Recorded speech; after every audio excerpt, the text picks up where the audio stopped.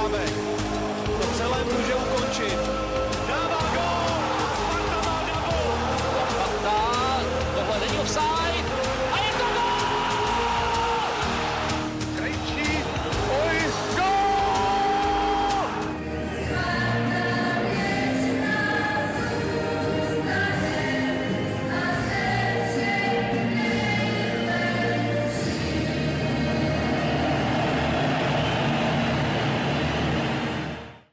Ahoj Spartěni, vítejte u 47. dílu fotbalového podcastu Spartanských novin.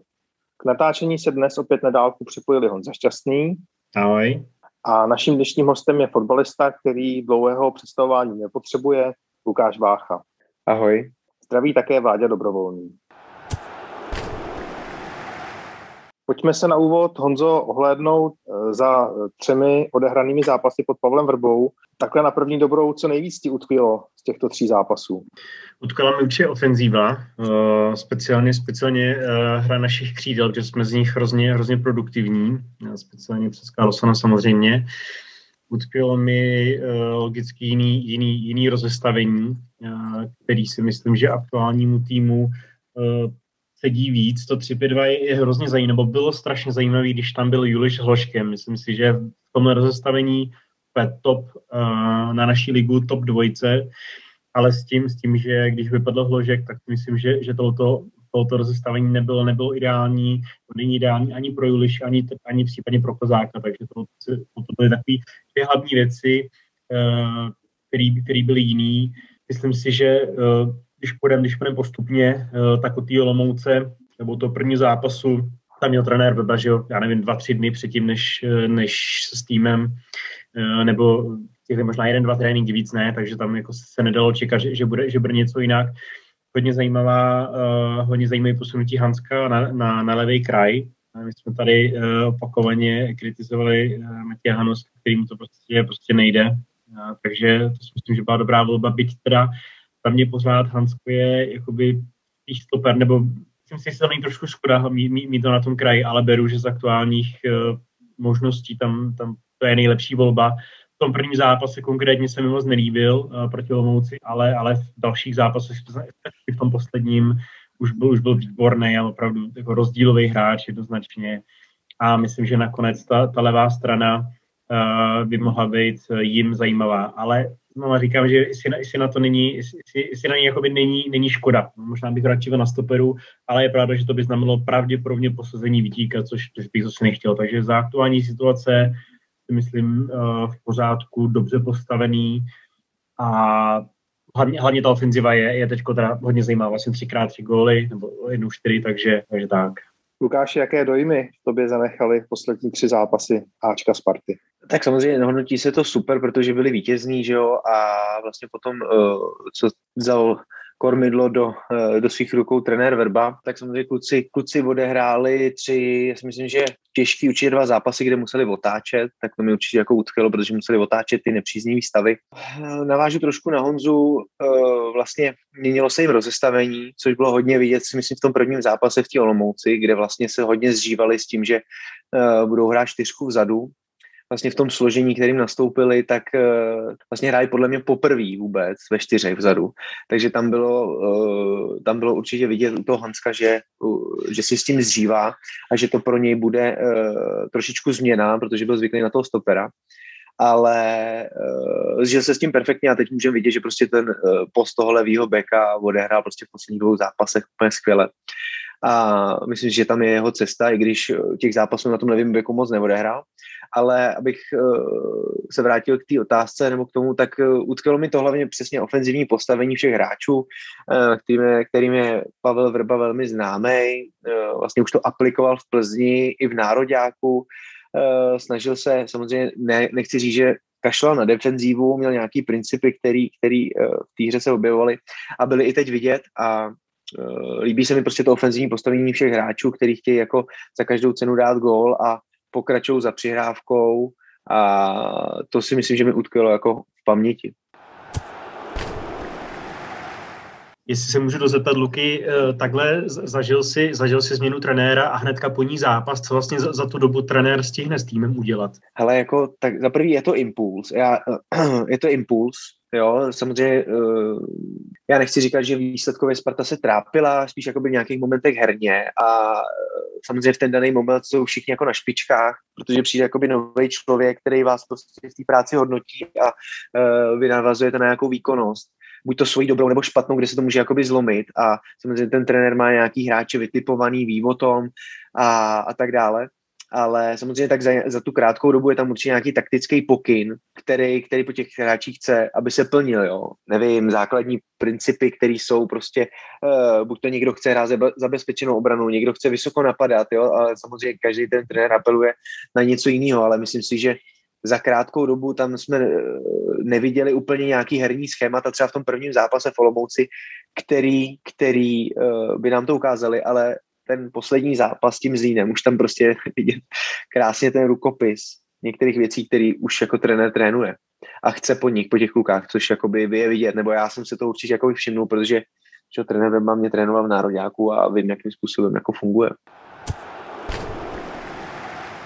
Já bych se ještě taky dozeptal k tomuhle, co si, co si Lukáši říkal, když uh, se změnil tedy trenér. Dá se, protože jakoby mezi, mezi fanoušky, možná i mezi novináři byla docela diskuze na tom, nakolik je to koncepční změna, protože Václav Kotal, uh, řekněme, hodně defenzivní trenér, se to zjednodušovalo, Valvr hodně ofenzivní trenér, navíc tam byl otazník minimálně mezi tím, co se jakoby, hm, tak lidé vyměnili za první dojmy, nakolik on se pracoval s mladými a tak dále. Eh, dá se třeba říct, co mají ty trenéři, ti dva trenéři společného a jak to zapadá třeba do nějaké koncepce, jakým způsobem se vyvíjí třeba teďka uh, ten, uh, to Ačko? Tohle je těžk, těžká otázka pro mě, protože uh, já na to koukám trošičku jinak. Já koukám na to, že vlastně koncepčně pro Spartu je samozřejmě Kotal, Kotal nepřišel do Sparty trénovat A tým. Jo, to je jakoby důležitý říct. Přebíral ho po nějakým prostě po nějaký vozovkách krizi a přebíral ho v nějakém stavu.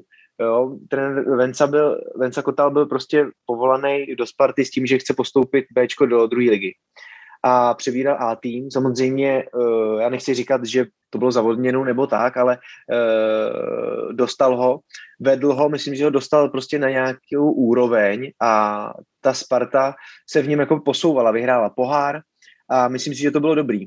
Samozřejmě ty výkony potom nebyly úplně dobrý, tam různý důvody, proč to bylo, proč to nebylo.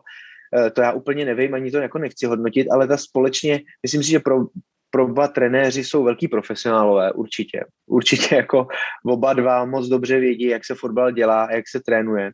A u Pavla Verby to prostě bylo mm, úspěchama. Myslím si, že má ještě jakoby tu kariéru daleko víc před sebou, tu trenérskou. Jo? Nechci říct, že ji všechno jako dokázal, tím končí, a myslím si, že daleko víc před sebou a, a ambicioznější než třeba uh, trenér Kotal. I když samozřejmě nikdo neví, jaký trenér Kotal má ambice, ale, nebo měl. Ale myslím si, že pro něj, pro trenéra Vrbu, to, že přišel do Sparty a uh, vidí, jaká je kvalita. Přesně, když se podíváme na ty mladý hráče a ta perspektiva u těch mladých hráčů, tak si myslím, že on to jasně chtěl a jasně to jako deklaroval, deklaruje, že prostě pokud ty mladí hráči mají takovou kvalitu a může se tady s nima pracovat, tak budou prostě hrát. Uh, a na to je zase další odpověď to, že když byl v Plzni, tak tam těch mladých hráčů tolik nebylo a hlavně jako neměli tu kvalitu, takže on je vlastně jako neměl jak ukázat a nehráli, jo. takže to si myslím, že je taky velký rozdíl a bude. Samozřejmě eh, já si myslím, že každý ten mladý hráč si to musí jako zasloužit. Není to tak, že jsi mladý, musíš hrát, ale samozřejmě ve Spartě máme prostě spoustu hráčů, nebo i teďka A týmu má kluky, kteří jsou jako použitelný a mají velkou, obrovskou kvalitu. Dokázal bys Lukáši třeba říct nějaké základní principy, na kterých pěl uh, Václav Kotal za působení, jak se ho zažil ty a, a třeba Pavel Vrba, v čem třeba jsou společné, v čem se to prolíná, v čem naopak jsou odlišnosti? Když začnu trenérem Kotalem, tak eh, velký puntičkář, velký jako detailista na všechno, až si myslím, že mu to docela jakoby i ubližovalo v některých momentech a vel, hodně dbal na defenzivu, říkal jasně, když nedostanete gol, tak tak ten gol dáte, jo. Že, že, bavím se teď o Spartě, protože ta kvalita je vždycky jakoby víc na té naší straně, ať je to jak chce, to je bez zesporu. a ať to bylo prostě u nás Bčku, tak samozřejmě i Fáčku. Takže tohle to byl jako velký, dával velký, velký základ na, na defenzívu, ale uh, hodně, hodně oba dva, kde se potkávali, tak se určitě rozehra. Uh, kontrola míče, a hra s míčem, vůbec držení a ofenzivní postavení. Jako samozřejmě, ať eh, to v některých zápasech třeba pod Vencou nebylo vidět, eh, tak eh, furt chtěl jako útočit a chtěl, chtěl být, jakoby, chtěl být v ofenzivně silný. Jo. Samozřejmě u trenéra Vrby, když to srovnám, tak nechci říct, že úplně netpí na té defenzívě, ale tpí nad tím, že když dáme víc gólů než soupeř, tak vyhrajeme.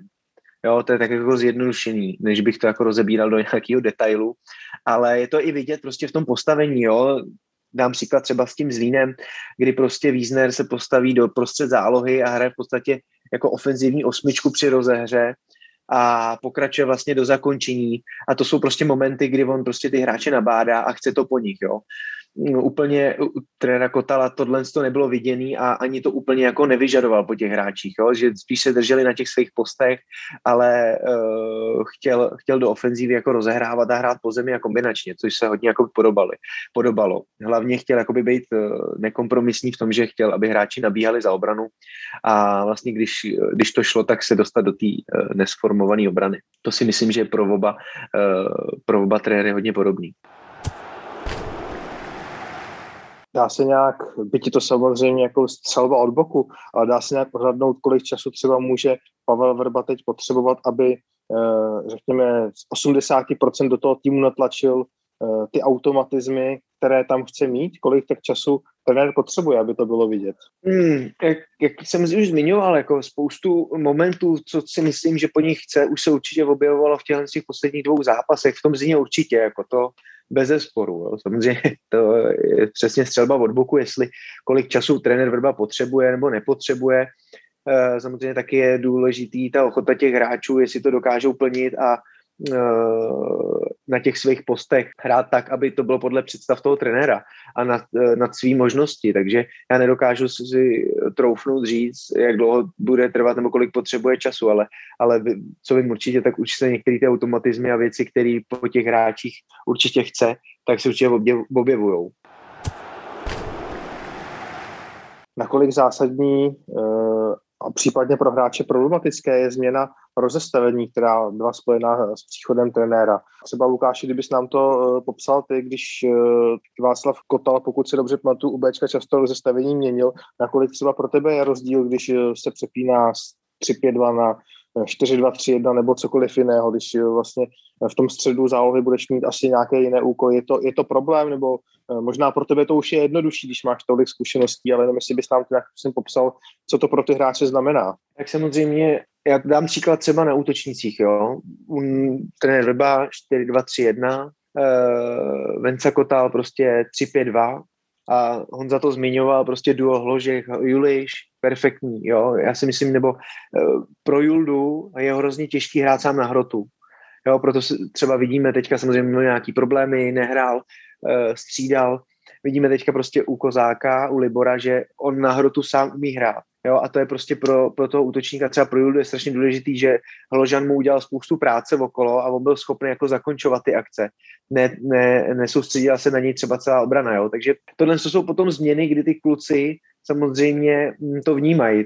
Co se týče toho středu té zálohy, tak tam není takový, takový rozdíl, jo, protože vlastně uh, u té trojky záleží, jestli, jestli uh, se napadá středem nebo jestli napadají halbeci, a když se hraje 4, 2, 3, 1, tak vlastně ty dvě šestky, jedna je osmička, jedna je spíš jako taková šestka, takže se to hraje eh, buď to předním diamantem nebo zadním diamantem, že je vlastně šestka vzadu, a nebo, jsou, eh, nebo je desítka nahoře, a nebo jsou dvě, dvě osmičky z desítky, nebo jedna osmička z desítkou. Teď jako se v tom nechci zamotávat, aby to posluchači pochopili, ale není to takový rozdíl. Jo? Myslím si, že pak velký rozdíl je potom v, v té obraně. Jo? Tam ten střední stoper a ty dva, ty dva krajní, který jakoby rozehrávají a musí vytvářet to přičíslení do té ofenzívy, tak je to tam potom samozřejmě znát, jo, když se přechází na tu čtyřku.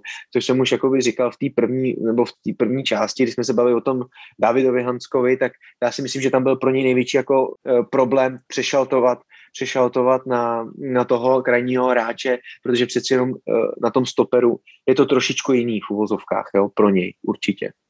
Samozřejmě potom je práce halfbacků, který hrajou trošičku taky jinak, než, než když se hraje 4-2-3-1 nebo 4-3-3. Ta práce těch halfbacků je potom strašně důležitá. Jo? A, a to si myslím, že byl potom problém u toho Venci, že ty halfbacki nehráli úplně, úplně jako dobře. Jo, takže tam potom je, potom je strašně vidět, když ty halbeci dokážou hrát a ty vlastně dělají potom ten, ten, ten výkon. A já, teďka myslím, že hrál Matěj Hanousek halfbacka a Windheim a, a úplně ty výkony jako jejich na těch halfbackích nebyly úplně jako ideální. Jo, a potom zase postavit Plavšiče a Carlsona na jednu nebo na druhou stranu na ty halfbacky, tak to prostě pro ně není, není úplně ten pravý postup, že jsou choulostiví na, na, to, na to bránění a e, potom nemají takovou sílu do té ofenzívy.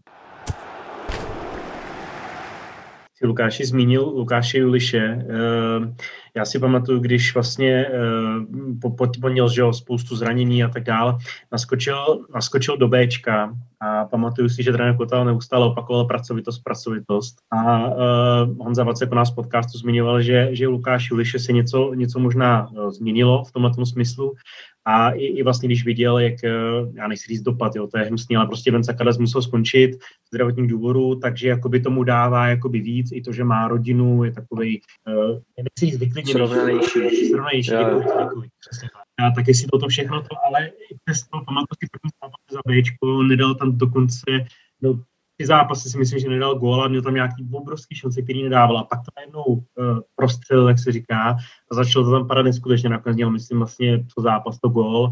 Potom pokračoval v Olomouci. 11 v řadě. On dal 11 v řadě. Přesně. Potom v Olomouci a potom pokračoval na Spartě. Uh, a uh, jak, um, když jsi byl vlastně kdy, kdy, se, kdy se Julda chytil, tak jak, jak to vlastně prožíval a uh, viděl jsi u něj i takovou změnu, kterou, kterou jsem popsal, myslíš, že, že to má něco, něco do sebe? Samozřejmě tak každý ten hráč se pro, pro, prochází nějakou, uh, nějakou etapou v té kariéře. Jo. Samozřejmě pro toho Juldy to bylo složitý, on měl prostě smůlu na to zranění. Uh, já, já ho vlastně, hm, já zažil Juldu, když přišel do Ačka, což je vlastně, eh, jemu bylo nějakých 18, 19 let a přišel prostě do Ačka a vím, že tenkrát prostě přišel s plastikou křížového vazu a nebylo to prostě úplně dobrý, nemakal, jo, nechci říct, že na to kašlal, ale prostě mohl pro to udělat víc. Jo. Samozřejmě pak se nějakým způsobem plácal, hostování, vracel se, nevracel se a čím šel jako starší, tak asi věděl sám, že prostě jsou poslední šance, kdy jako může být a furt se do té Sparty vracel, protože jako Sparta ví, že uh, tu kvalitu samozřejmě má, on na to konto jako se zase nutno říct, že on dokázal už několikrát, že tu kvalitu opravdu má.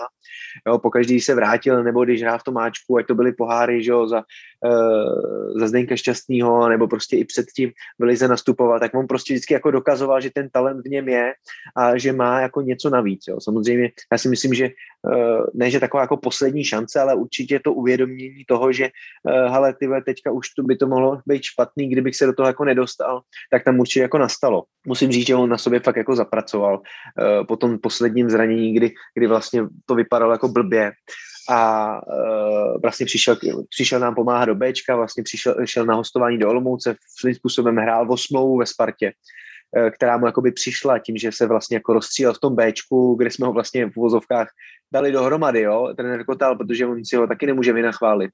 A měl dobrou partu vedle sebe, sedělo mu to, odešel na hostování do Olomouce, kde mu to prostě padalo, v uvozovkách jako hráli na něj, oni lepšího útočníka neměli, takže on prostě to prostřelil, dával góly v té lize, no a vrátil se prostě s nějakou fazonou, kterou, kterou potom jako potvrzoval, no.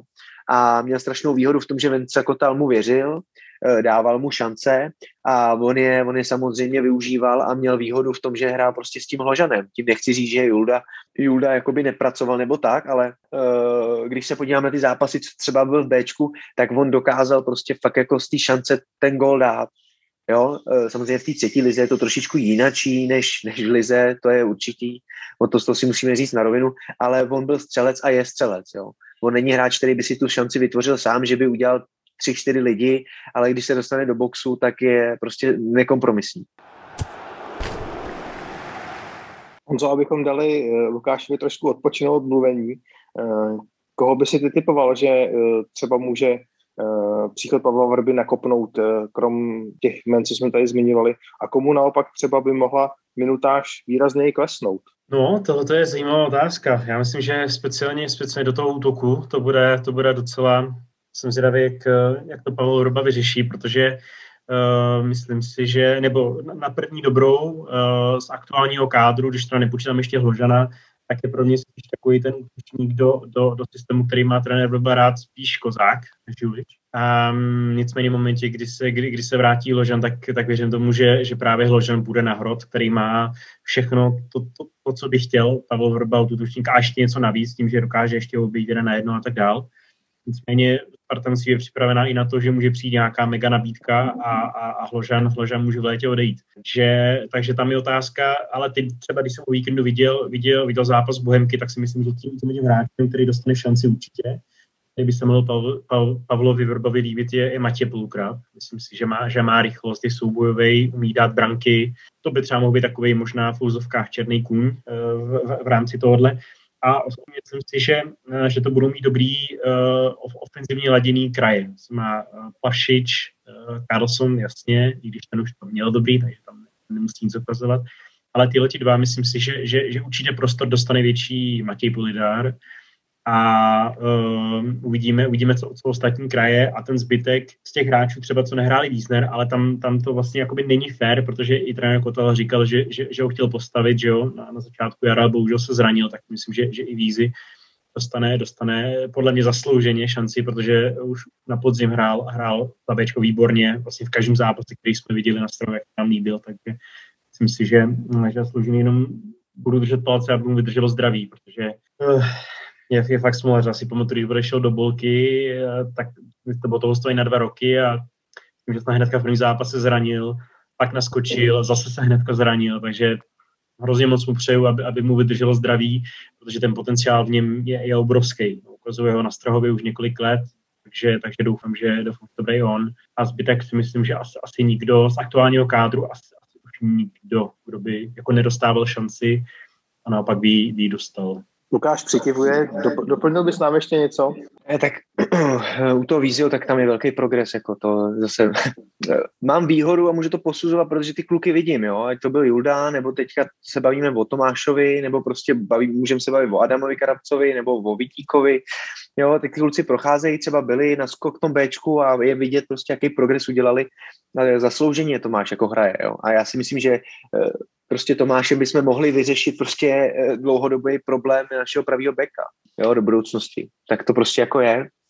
A přesně jako tam, pokud vydrží zdraví, což si myslím, že teďka v tuhle chvíli není nějaký jeho problém, nemá, samozřejmě to může být jak na houpačce, všichni to známe, nebo já to znám určitě, tak ten fotbal je rychlej, takže to se může zdát jako stejně na týden, já samozřejmě vypadne z toho, ale myslím si, že jako tady ta jeho pozice, jak do toho teďka nastoupil, jakým způsobem se prezentuje a to, že ta uh, obrana nebo ten pravý back není úplně vyřešený, tak si myslím, že pro něj uh, to určitě je cesta a myslím, že pro Spartu je to cesta, jak naplnit jeho potenciál na tom pravém backovi.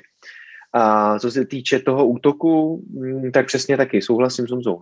Tam jako není moc, jako, moc na výběr. Já si stejně jako myslím, že jestli se z Ložan uzdraví, tak bude, tak bude jako jednička v útoku. To si myslím, jako, že asi bezkonkurenčně. Ale uvidíme, jestli trenér Drba postaví Hložana dopředu, nebo jestli bude na křídlo.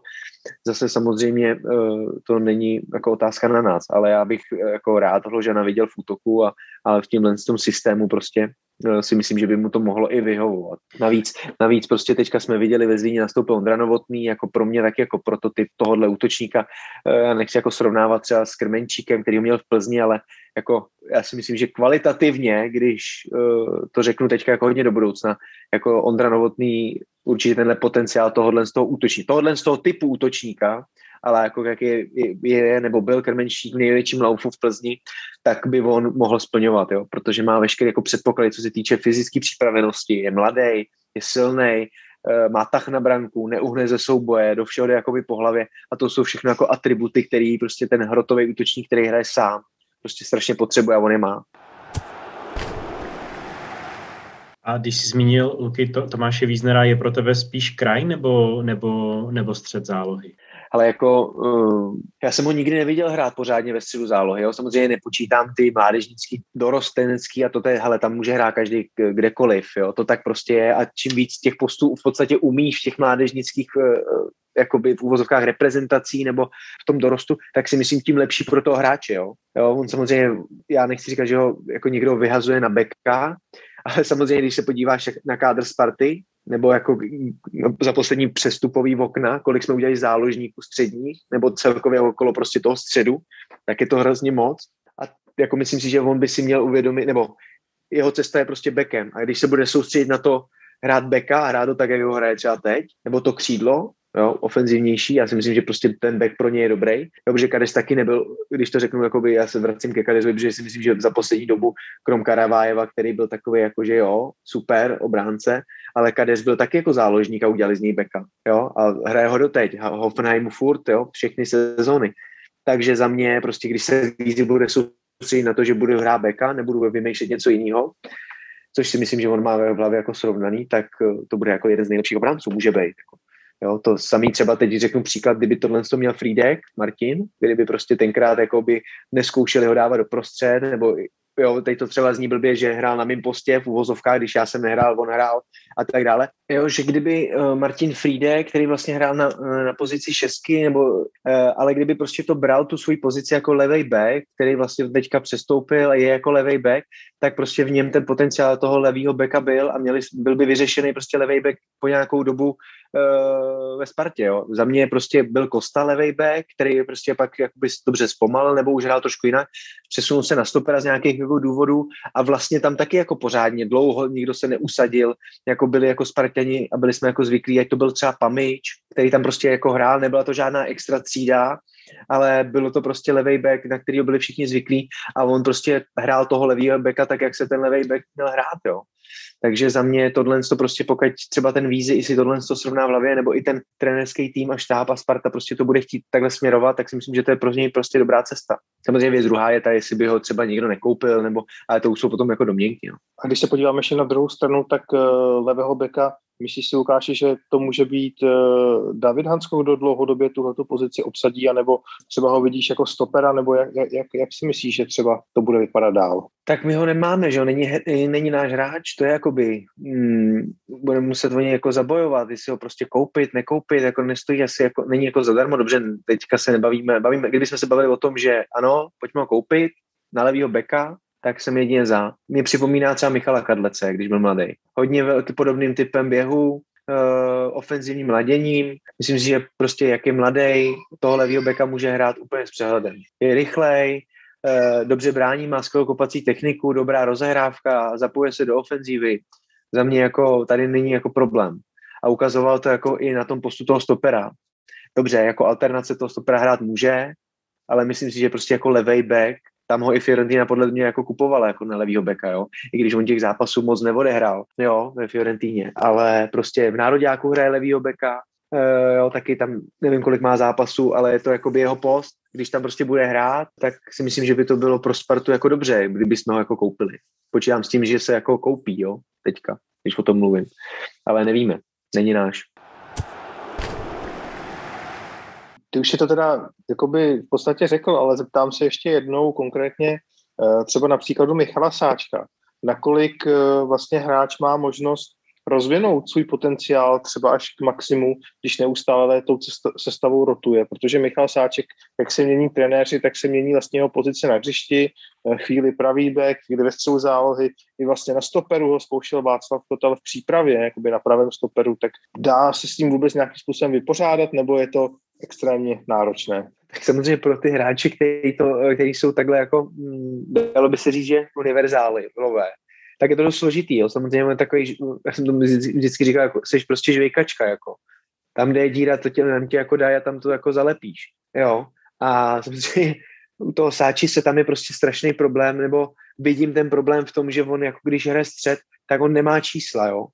Já vím, že někdo může oponovat, že Maťák taky neměl čísla a tak dále a tak dále, nebo i jiní střední záložníci, ale jako tohle teďka v dnešním fotbale a jemu by strašně pomohlo do toho, aby hrál ten střed, aby tam byl jakoby furt, aby ho tam prostě jako dávali, jo, on kdyby dával prostě, já nevím, 8, 7 gólů za sezonu a měl pět asistencí, tak ono by se taky s tím pracovalo jinak z toho postu, z toho středu, jo. Takže za mě prostě je tohle to jakoby asi největší problém prostě toho Michala, jo. Jinak já si myslím, že on prostě po každý, ať hraje kdekoliv, tak on prostě si odvede ten standard a eh, a lepší standard a lepší výkonnost v každém zápase, co jako nastoupí, ať je to jakýkoliv jako post. Samozřejmě pro ně složitý určitě jako rotovatou sestavou a, a vlastně jako hrát, nehrát, ale když jako zase to řeknu z pozice toho hráče, té konkurenci, která jako ve Spartě je a vždycky jako byla, bude, tak prostě si uvědomit, nebo on si určitě uvědomuje to, že prostě aspoň hraje. Jako, nechci říct aspoň, jo, ať to nezní blbě, ale prostě hraje v základu Sparty, takže si myslím, že si to jako uvědomuje. Jo. Ať hraje prostě beka, záložník a to je zase dobrá věc pro toho trenéra a realizační tým, že to má navnímaný, že ten kluk není jako otrávený, jo? Že, nebo nechci to říct blbě, ale že jo, jdu na hřiště, jdu hrát pravýho beka, jo, jdu na hřiště, jdu hrát pravýho stopera, jo, jdu na hřiště hrát osmičku, jo, jdu hrát česku, jo, že po každý ten klub vlastně odvede to maximum a, a vždycky se to na něm dá jako v vozovkách postavit, jo.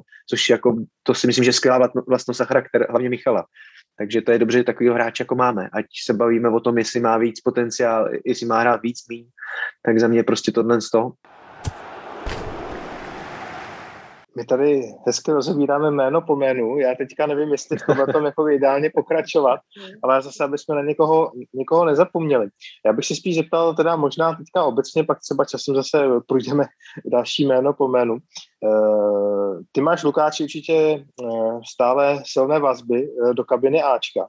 Eh, dá se říct, protože to taky bylo jakoby velké téma eh, v posledních dní, že ta kabina teď funguje, řekněme, nejlépe za poslední dobu, nebo dokázal bys nám nastínit, jak ta kabina teď jakoby funguje, co se týká zdravosti prostředí, řekněme, nebo jak bys to popsal? Funguje, stoprocentně funguje a je to vidět, jako prostě tady se, v těch zápasech teďka já vím, že dávám za příklady třeba ty poslední zápasy, jo, ale i za Venci Kotala se prostě otáčely zápasy, Eh, dokázali to kluci a prostě to je, eh, tam se ukáže síla a ten morál té kabiny. No.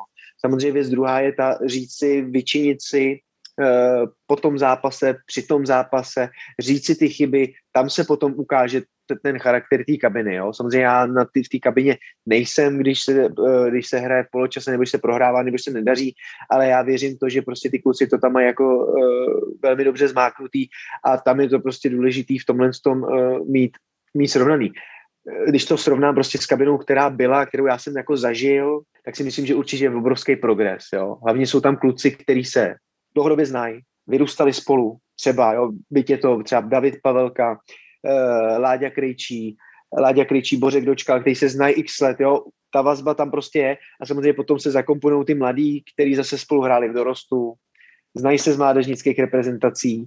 A tohle to jsou potom vazby, které se jakoby navážou. Jo, potom samozřejmě je důležitý uh, to sjednotit, aby prostě střední generace plus mladá generace fungovala s tou starou. A já si myslím, že v tuhle chvíli jako není, není jako problém.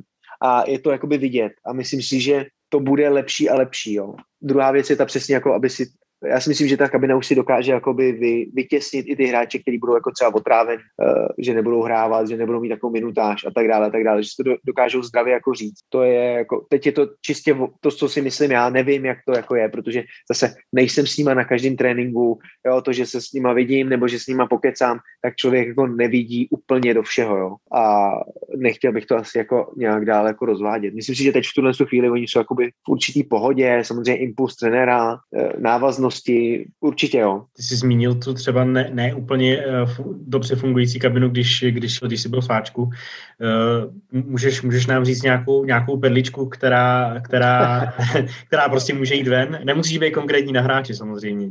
Ale jako takhle, já to řeknu všeobecně. Jo. Samozřejmě my jsme chtěli, uh, nebo já nejsem proti tomu mít v manšaftu jako zahraniční hráče. Jo, vidíme prostě uh, i teď David Molbeck, Windheim, Plavšič, Uroš Radakovič, uh, Nica. Uh, to jsou cizinci. Uh, a ty cizinci chtějí pracovat ve Spartě a pracují za ní. To je pro mě jakoby berná mince a hodnota. Chtějí se přizpůsobit té kabině.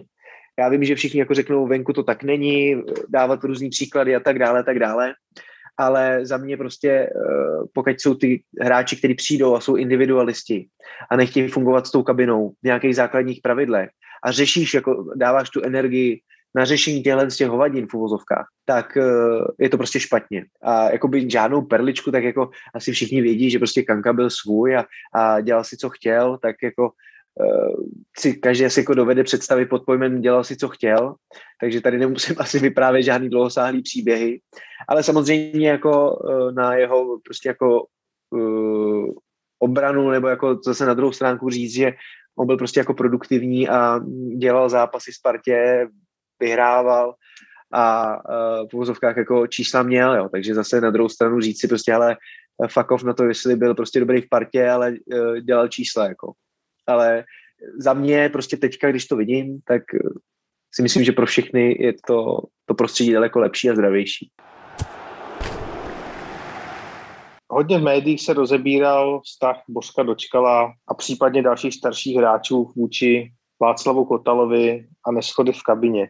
Dokázal bys třeba do toho něco jakoby k tomu říct, třeba jestli to vůbec nebyla pravda, nebo takhle, nebo radši to přeskočíme? Ale tohle je hrozný tlak jako médií. Jo. Je to hrozně jako zatlačení do toho, že třeba Božkovi se tolik úplně nedařilo, hrál, eh, najednou se snesla kritika na jeho hlavu, snesla se kritika na trenérovu hlavu a najednou prostě uh, to běží v nějakým, uh, nějakým vláčku a napojuje se to na sebe.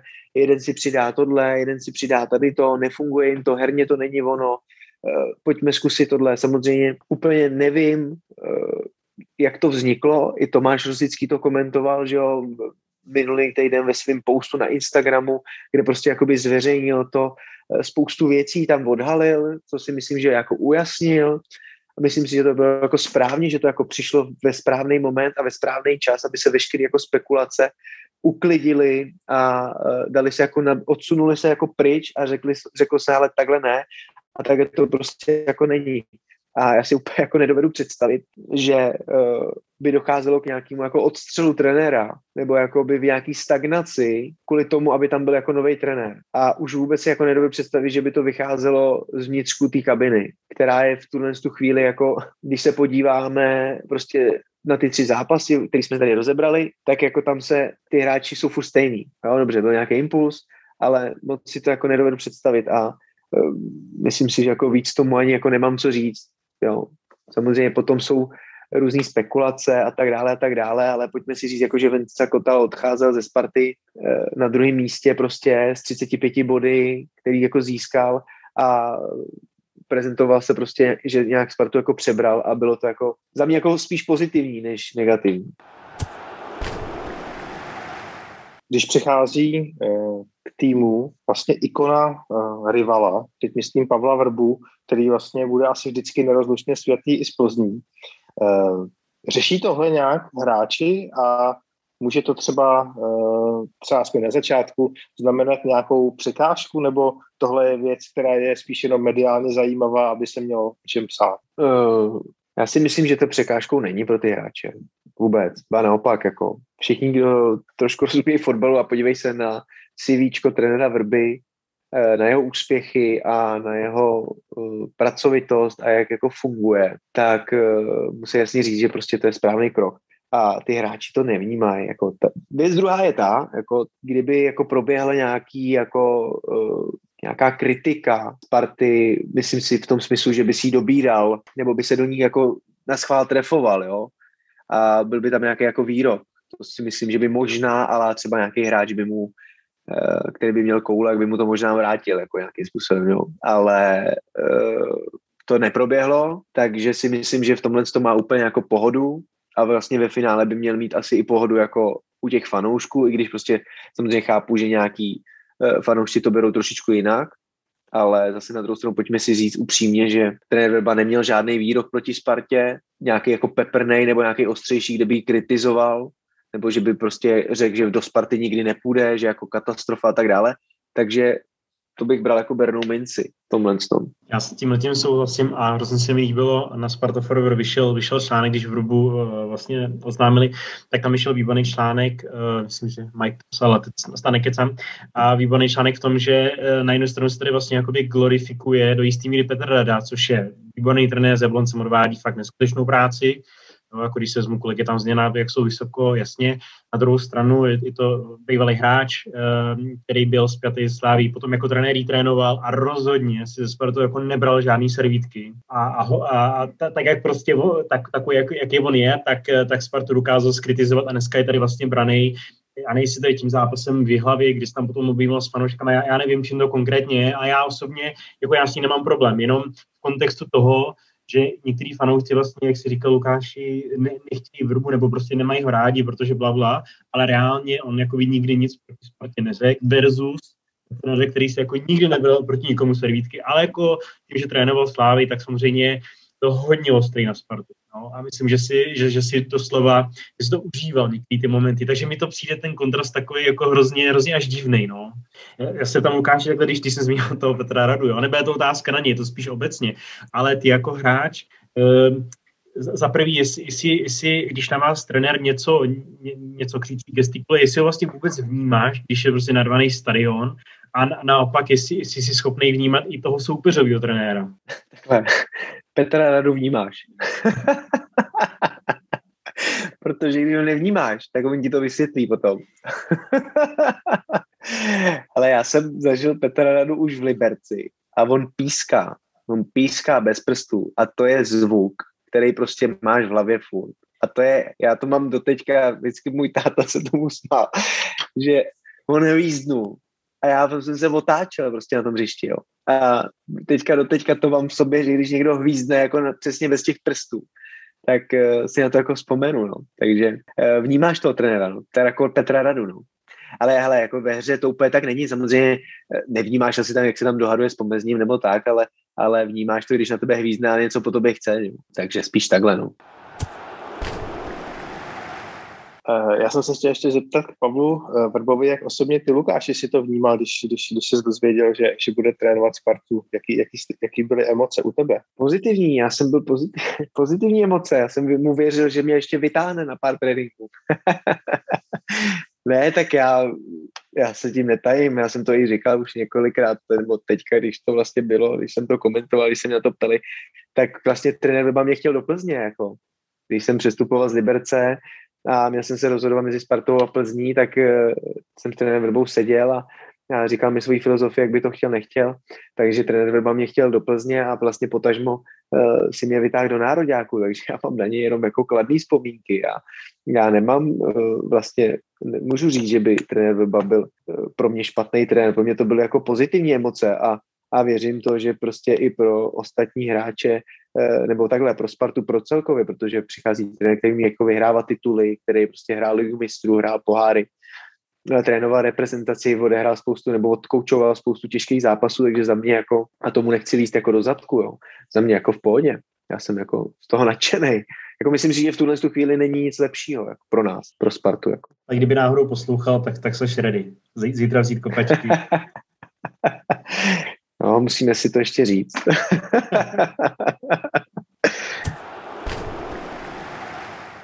Dalo by se třeba nějak říct uh, obecně, jak se liší uh, tréninky pod uh, jednotlivými trenéry. Teďka, já nevím, jestli můžeme přímo porovnat Václava Kotava a Pavla Vrbu, případně i nějaké další přední trenéry, které ty si zažil v kariéře? No, tak já nemůžu porovnávat že, trenéra Vrbu, protože mě netrénoval jako v klubu. Jo. Ona se samozřejmě rozdílí trošičku v tom národním týmu, jo, to trénování. Já jsem, vím, že prostě měl velký apel na standardní situace, třeba co, co řeknu, to si vzpomenu, jako tam bylo prostě, jako tam bylo velká síla a dogma na to, že on prostě chtěl hodně rozehrávat, hodně signály, hodně přečíslování. Uh, zakládání útoku, tak to si myslím, že oba pod, hodně podobný s trenérem Kotalem, který chtěl jako taky hrát odzadu, rozehrávka s golmanem. A je to takový moderní trend, teď prostě jakoby si myslím, že hodně trenérů chce, nebo ve světě to také, nebo v Evropě určitě. A to si myslím, že i trenér Weba jako aplikoval a aplikovat bude a to samý trenér Kotal. Jako. Tam si myslím, že to taky bylo jako vidět, že prostě chtěl hrát za každou cenu za každou cenu jako kombinačně a že to nepřecházelo do nějakého jako alá bojovního, bojovných výkonů a bojovné uh, taktiky. Mě by zajímalo, jak vlastně Robert přistupuje k hráčům, že mi vždycky přišla takhle na venek, že on se jakoby uh, těch hráčů dokáže zastat na venek, jo, někdy to je jako možná do extrému, ale, ale přišlo mi, že vlastně kdybych byl hráč, tak by se mi tohoto líbilo, že by mě trenér neskazoval a naopak, že by se za mě postavil, kdyby něco, tak jaký je jeho reálný potom vztah k hráčům a co jim třeba řekne v kabině, protože předpokládám, že nějak vystupuje venku, myslím na tiskovkách, mezi novináři a jinak bude fungovat v kabině. Ale asi jako tohle to určitě, samozřejmě ty hráči si k němu nějaký vztah vybudou, samozřejmě on k hráčům a tohle to jako on určitě má, já si myslím, že on nepřináší jako nějakým způsobem uh, úplně tu negaci do novin, jo.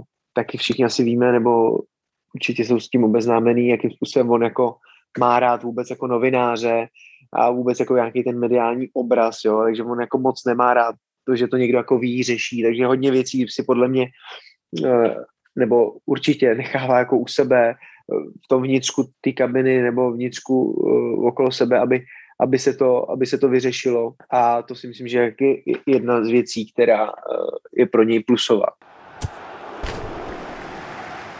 Popíšeš nám, Lukáši, jak teď v době koronavirové funguje Bčko? Jak třeba vypadá tvůj běžný pracovní den?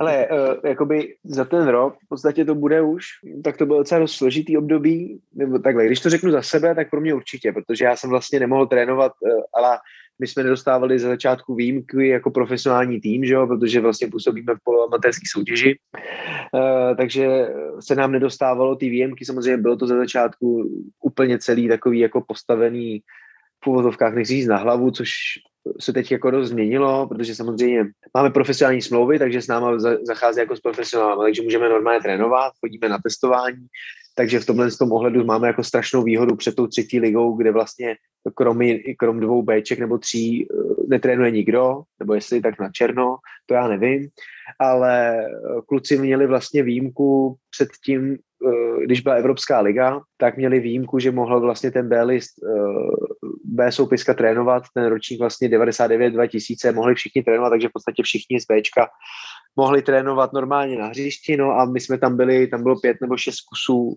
šest hráčů, který jsme vlastně jako nemohli. Takže jsme vlastně trénovali jako individuálně a tam jsem jakoby patřil já, což vlastně, uh, když se to potom přerušilo a nebyla soutěž, tak bylo pro mě jako v úvozovkách jako náročný, protože samozřejmě už na mě prostě znám, když ne, nejsem na hřišti, když musím trénovat sám, um, chodím jako nějak běhat a, a vlastně bylo všechno zavřené, tak, je to, tak to bylo pro mě jako náročné. Samozřejmě pro kluky to bylo dobře, že mohli trénovat a, a fungovali.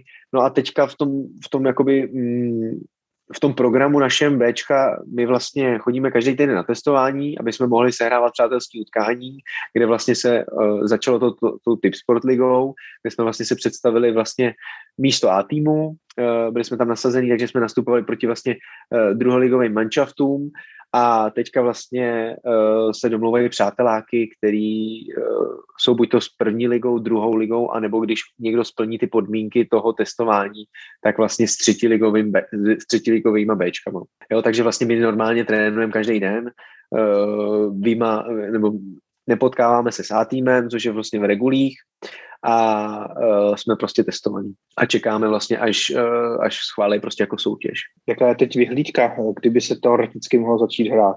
Poslední jako termín je tam nějaký, os, já mám pocit březen, poslední březen, ke konci března. A samozřejmě mění se to, jo, tam je jako, je to různý. Ale poslední vyhlídka je prostě ten konec toho března. No. Tam se taky Bčku změnil trenér díky tomu, že Václav Kotal šel k Ačku. Jak velká to byla změna a jak by si popsal eh, trenérský rukopis Michala Horňáka? No, tak samozřejmě trenér Horňák je zvyklý pracovat s mladými hráčema, měl juniorku, mm, samozřejmě eh, byl, byl u A týmu a myslím, že ten přesun, tam samozřejmě zdívali jsme se s tím, byl problém s tím, že se vlastně nehrálo a ty zápasy, co jsme hráli, tak byly takový jako hodně rozháraný, ne vždycky jsme byli úplně kompletní, i vlastně uh, trenér to neměl úplně, uh, úplně tak, jak by si asi představoval, ale samozřejmě ten rukopis tak taky uh, hraje 3-5-2 hodně, protože um, máme dost ofenzivních hráčů v tom Bčku, samozřejmě uh, musíme víc teďka zapracovat na defenzívě, což uh, on několikrát už zmiňoval na tréninku a vlastně i v těch reportážích, um, co jsou po těch zápasech, tak na tom určitě on chce zapracovat hodně, i vlastně jako bývalý obránce, tak eh, v tomhle tom je hodně, hodně jako striktní taky, ale taky hodně jako ofenziv, ofenzíva, chce být ofenzivní, chce po nás vlastně, aby jsme po ztrátě hodně napadali a je výhodou, že u těch mladých hráčů oni mají prostě síly na rozdávání, jo. takže v tomhle to má samozřejmě velkou výhodu a já úplně nechci tr- srovnávat trenéry jako kdo je lepší, horší. Každý z těch trenérů má něco, že Venca Kotal přišel, aby se Spartou postoupil do druhé ligy, protože uh, už tu zkušenost měl, měl zkušenosti s, prostě s první ligou, který trenér ho nějak třeba nemá, ale zase má větší, jako být, uh, víc tíhnek té mládeži, kde vlastně už trénoval juniorskou ligu, kde se mu podařila vyhrát a je třeba u nároďáku, takže zase má, zase má velký přehled o tomhle. Když by si měl posluchačům, eh, já nechci jít doporučit, ale kdybyste jí nahlas zmínil třeba nějaká jména, která si myslí, že by se z Bčka mohla v dohledné době posunout k Ačku, tak koho by si zmínil? Tak Novotnýho už neberu, protože ten podle mě jakoby tam bude, o kterém už jsem mluvil. Určitě, určitě jako, když teď on je na hostování, Vojta Patra, který měl jaký už vlastně za, za Venci Kotala tam chodil, Eh, a byl v A týmu. Určitě bych zmínil eh, Adama Gabriela, který vlastně už taky byl v A týmu, který si jaký myslím, že má potenciál na to se tam dostat, i když prostě teďka samozřejmě mu to trošku zavřel vízy, protože Adam Gabriel je prostě pravý back, takže tam je to jako docela složitý, protože jsou dva mladí hráči a ten potenciál oba mají. Určitě bych se zaměřil na jméno Rineš, protože to si myslím, že je taky velký potenciál, velký hráč pro budoucnost Sparty, protože za je levák, je v ofenzivě použitelný vlastně do útoku na pozici desítky, na pozici křídla, takže to si myslím, že určitě, určitě jeden z hráčů, kterýho bych určitě sledoval. A já ne, oni mi to vyčtou v té kapině, když to jako zapomenu, jo, ale, ale jako tohle, tohle jsou jakoby tohle jsou hráči, kteří určitě ten potenciál mají. Jako tam je spoustu šikovných kluků. Jo. Eh, Horák je na hostování, Horák je na hostování druhé lize. Ehm, vlastně Piško, který už dlouho už, už nakukoval do, do ligy ve Spartě, chtěli ho zase eh, v první lize, Opava měl nabídky, zůstal ve Spartě, protože chce prostě být, postoupit do té druhé ligy. A já si myslím, že pro všechny ty kluky, co teďka jsou v Bčku, ten kádr, i když si myslím, že by se třeba mohl ještě jako trošku ořezat, protože Ačko má široký kádr, my máme docela široký kádr, tak, eh, tak to, tak by se mohlo ořezat a eh, je důležité postoupit do té druhé ligy. Je strašně škoda, že teďka se nehraje, protože pro ty kluky je to, pro mě už tolik ne, ale pro ty kluky je to, je to prostě složitý teďka v tuhle chvíli. Ale ještě teďka si, když, když řeknu, tak určitě, určitě uh, Václav Sejk, který přišel z dorostu, tak to si myslím, tam je obrovský potenciál, no, co se týče předku a typu útočníka, který třeba Pavel Vrba má rád. Jo, když navážu jako v té postupnosti, prostě novotný, nebo krmenčík novotný, uh, sejk, tak to je tak jako útočník podle mýho gusta a myslím si, že velký potenciál v něm je. to reprezentant, vlastně tahoun vlastně dorostu. Takže já si myslím, že určitě tohle jméno taky jako sledovat. A já si myslím, že kdo jako sleduje Spartu nebo tu mládež, tak o něm moc dobře ví. Já bych se zeptal ještě na spolupráci s dorostem. Jak často si třeba eh, od nich berete hráče na tréninky, jak, jak, jak případně funguje spolupráce? Uh, upřímně jako ty hráči, že jo, samozřejmě teď je to složitý, jo, protože bavíme se o tom, že ty kluci musí být testovaní, že jo, dorost nesmí trénovat.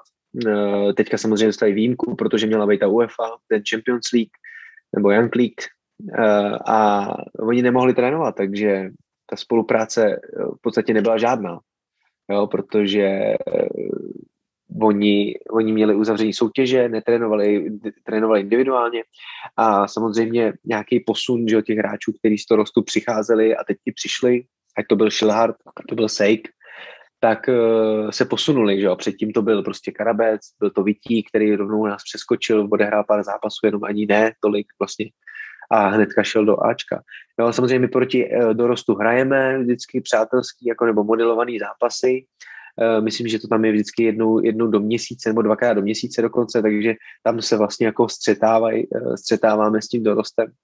A tam jako je, ta, zase úplně nevi, nevidím do té užší komunikace těch trenérů a těch realizačních týmů, jo, ale nějaký posun těch hráčů tam už proběh a probíhal i vlastně v létě, kdy se k nám přesouvali někteří dorostenci a teďka taky, že jo. Jak probíhají ty přáteláky, tak kolik je to vyhecovaný a kdo vyhrává. Jo, to, jo, oni jsou heclí, že tak oni v podstatě, že jo, eh, ty, eh, ty z toho dorostu, co přišli krátce, některý, takže samozřejmě ty chtějí porazit ten dorost a dorost zase chce porazit nás. Ne, jako Eh, je to potom znát už, že máme jako, jako zkušenost. Takže probíhá, většinou hrajeme třeba 3x, 3x35 nebo 3x40, eh, někdy 2x40, ale jako je to různý, samozřejmě je to jako modelovaný utkání a, a snad jsme ještě neprohráli pečko a tak to bychom asi jako neměli ani. Jo. Zeptám se ještě na jedno jméno, konkrétně na teď už českobujovické jméno, eh, Max Stalověrov, který v Bčku odkopal, eh, teď nevím, jestli celou minulou sezónu nebo jenom část, myslím, že jenom část, jestli se nepletu, teďka už nevím, to je jedno, ale uh, hodně fanoušků řešilo, zda jsme ho neměli koupit po tom, co tady nepřivedl úplně špatné výkony, protože teďka se samozřejmě mluví o tom, že o něj má zájem náš rival, tak eh, díky tomu je to téma na stole. Tak jak bys tohoto hráče viděl ty, Lukáši? Takhle, jako já upřímně, kdyby se to mělo dělat jako ten přestup nebo ten podpis po tom, co jako odehrál tu, tu část tom Bčku, abych to jako ne, taky neudělal. Jo, taky bych to nepodepisoval. Ne, nechci říct, že jako odehrál špatný zápasy, ale úplně jsem neviděl v něm ten potenciál toho, aby se jako zapojil třeba do, do nějaký přípravy s A týmem. On má jako strašnou výhodu v tom, jaký má, jaký má parametry, Eh, vejškový, prostě fyzično, takže on vlastně jako vyčníval v tom Bčku, v uvozovkách, když to řeknu jakoby blbě ale myslím, že v konečném součtu ani Sparta jako neřešila, nebo A tým neřešil to, že by neměl nedostatek stoperů.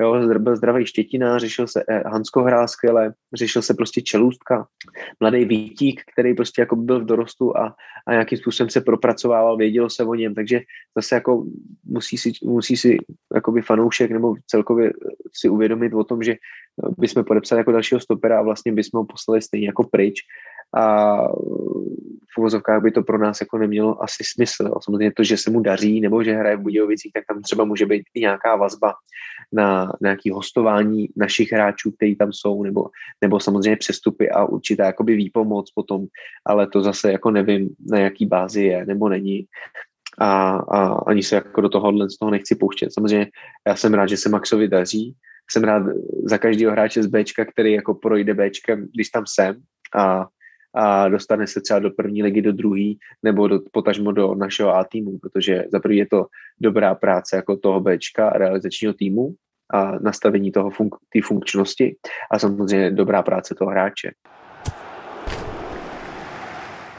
Máme ještě čas, já, že bych požádal Lukáše, jestli by tam ještě třeba řekl něco nakonec, nějaké, nějaké poselství. Tak 3 minuty 50, Lukáši, pojď. 3 minuty 50 mám mluvit v kuse. ne, tak eh, já nevím, jako jak začít, no tak jako nechci říkat jako poselství, nebo říkat poselství, budu říkat jako přání. Budu říkat přání, hrozně bych si přál, aby jsme postoupili jako Bčko do druhé ligy, protože si myslím, jako aby jsme měli v, ve Spartě dva profesionální týmy, který budou hrát dvě nejvyšší soutěže, je prostě perfektní a myslím si, že by to bylo pro Spartu jen to nejlepší i prostě potažmo pro ty hráče, kteří jsou na, naš, jsou na hostování, chodí na hostování a myslím si, že by to bylo jenom dobře pro všechny.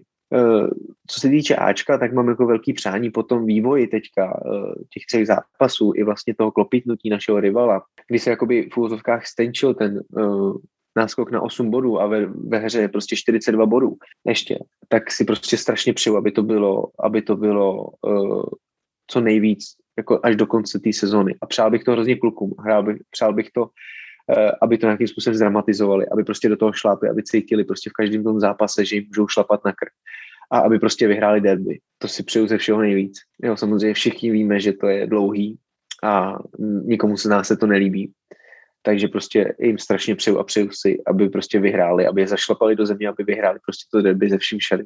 I když to prostě bude náročný, prostě Sparta má nějaký lauf, ale nic není nekonečný, teda Slávě má nějaký lauf, takže nic není nekonečný. Takže si zvěřím v to a přeju si, že prostě ty kluci do toho vlítnou a pro tu cítit tu šanci do konce, do konce té sezóny a že zatím půjdou. No a trenérovi Vilbovi přeju, aby měl prostě tu přidanou hodnotu, kterou měl vždycky a to bylo to štěstí, který vždycky jako v té kariéře v úvozovkách jako měl. A to bylo prostě s Plzní nebo s Nároďákem, tak se to vždycky jako projevilo. A tam by se to potom mohlo jako ve finále odrazit, že by to pro všechny mohlo být jako úspěšný a potom budou všichni jako nadšení. Takže takhle za mě. Super. Děkujeme moc, že jsi byl naším dnešním hostem Lukáši a s vámi posluchači se budeme příště naslyšenou.